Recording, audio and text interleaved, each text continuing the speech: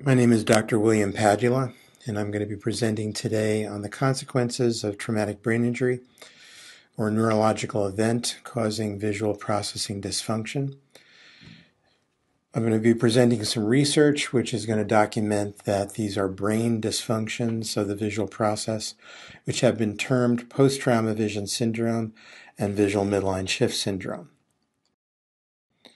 In order to understand this, we have to look at vision as a dynamic process as it emanates or grows from the action system, which involves movement, posture, and balance. And then we'll have to understand how that in, becomes a key relationship to organization of vision in, re, in response to cognition, memory, speech, and language. Anytime there is an interference with the motor process, even with uh, aging, it interferes with parts of the visual process which affect uh, how the visual system is stabilizing other aspects of performance, such as movement, posture, and balance. And when that becomes affected, frequently there will be problems with balance, eye strain, light sensitivity, and even vertigo Neurovisual process dysfunction affects posture, balance, spatial orientation, and then affects higher attention concentration and causes binocular.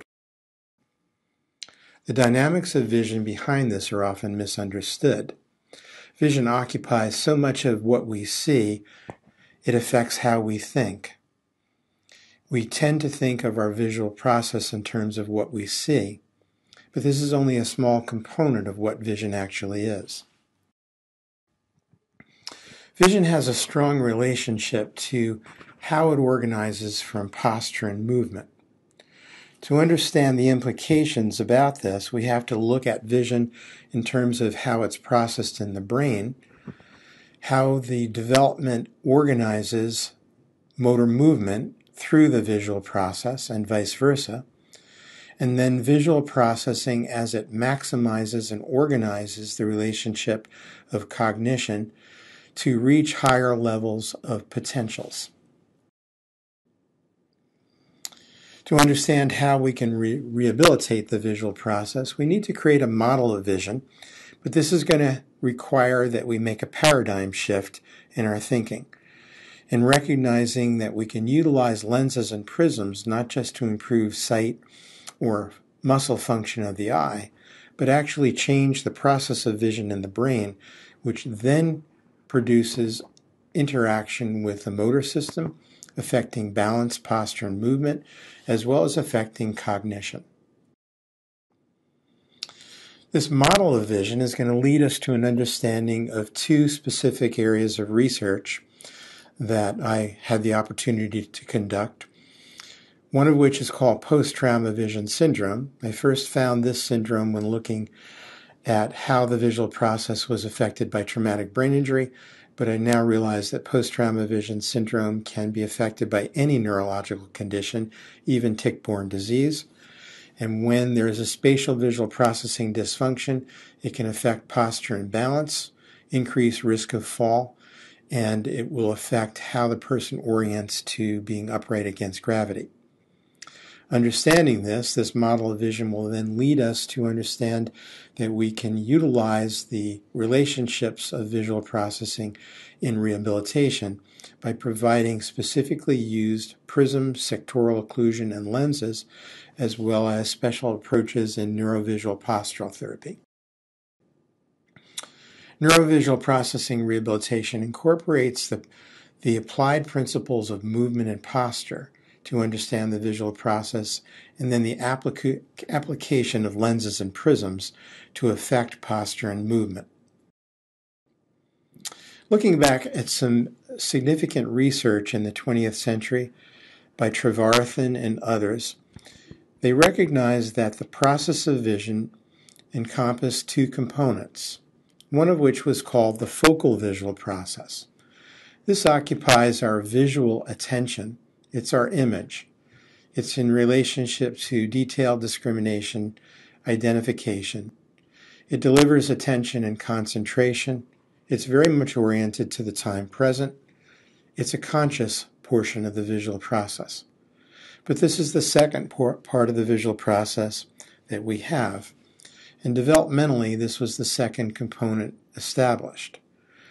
The priority of the brain is to establish first a spatial visual process, or that which is called the ambient visual process.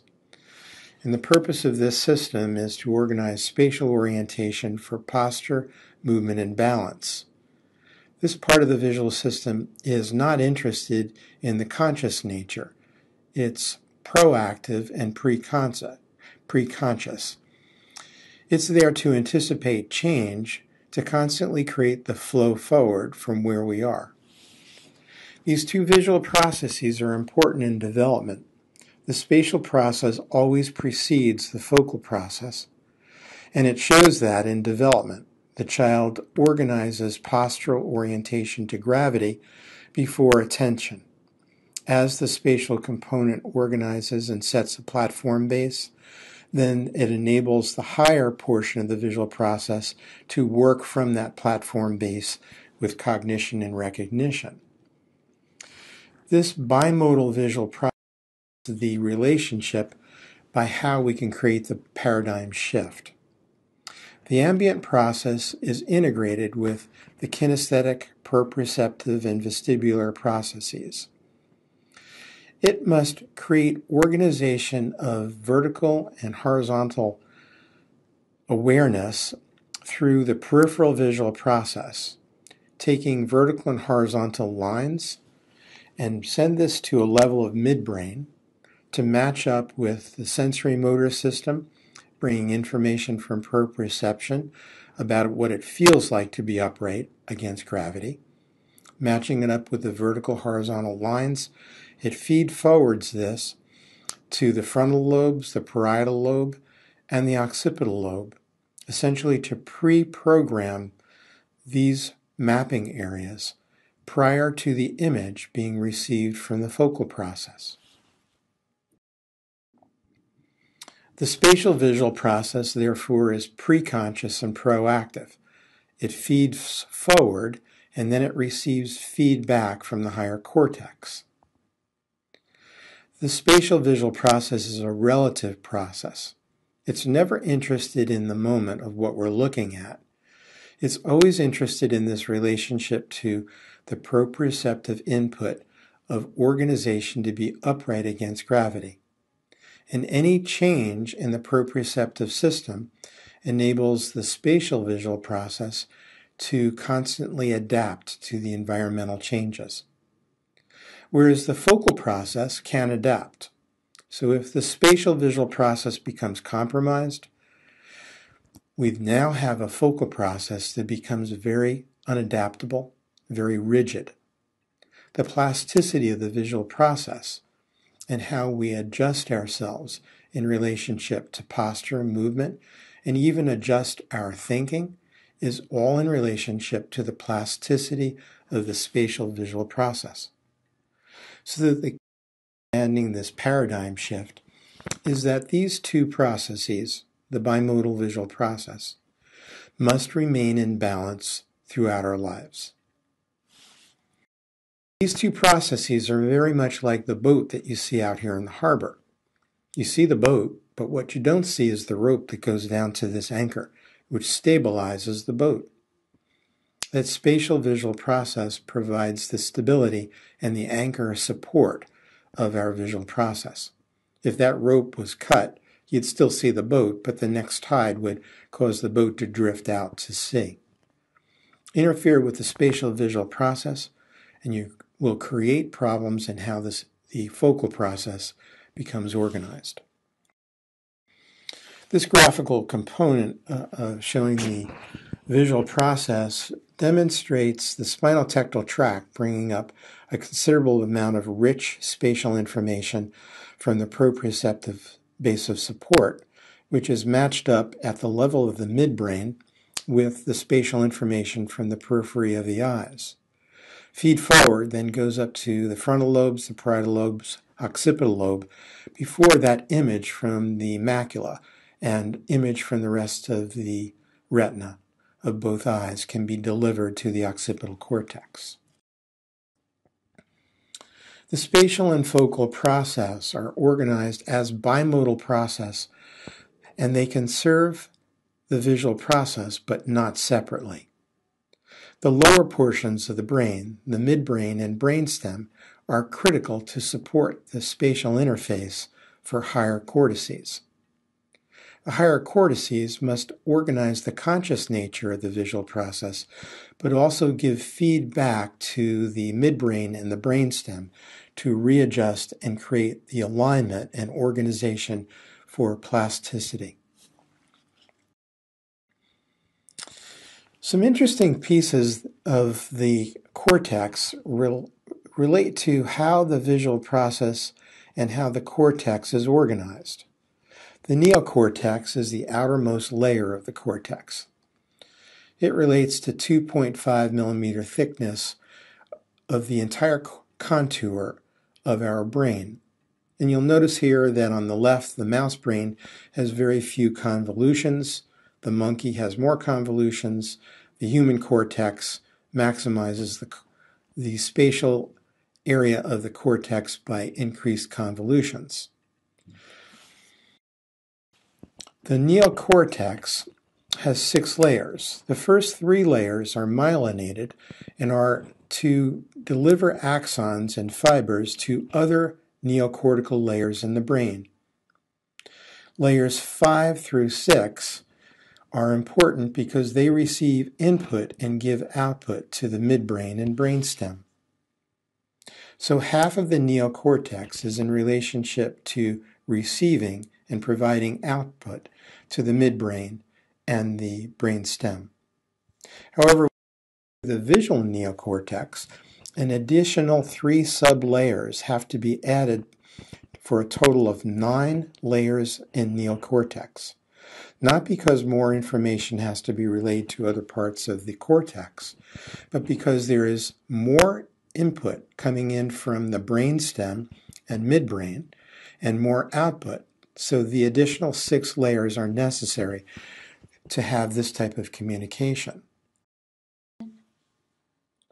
So if you exit out of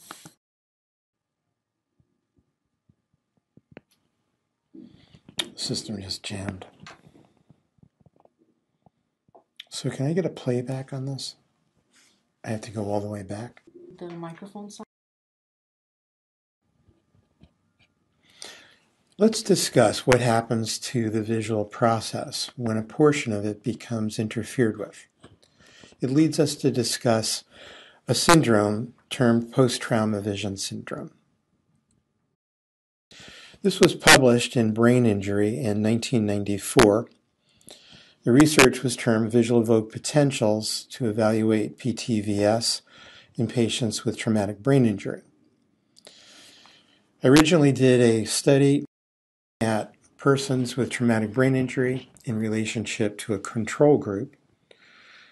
There were 10 subjects in the experimental group and 10 subjects in the control group. The etiology for the subjects in the experimental group for head injury, with the majority were secondary to motor vehicle accident. The control group, none of the subjects had any type of traumatic brain injury. All of the subjects in the experimental group had reduced monocular and binocular acuities, not so in the control. The experimental group showed problems with tracking, convergence, unlike the control group. It was interesting that in the phoria range, the experimental group showed a high prevalence of exophoria, but it was mixed in the control group.